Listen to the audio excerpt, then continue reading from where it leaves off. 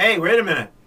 We found out today that two competing groups of African Americans are uh, going out and making their voices heard in the community. Now, one of them today, we're not sure how many people are in the group because they don't really say, will be endorsing Keith Wilkowski for mayor of the city of Toledo.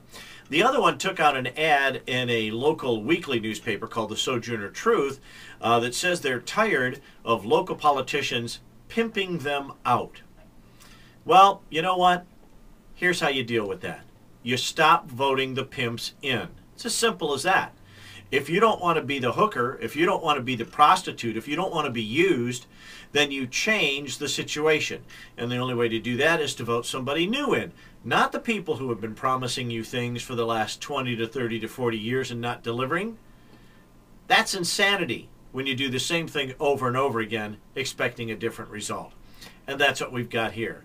So if you really want to change this time around, vote somebody different in for the mayor of the city of Toledo and the school board and the city council. Stop being pimped out.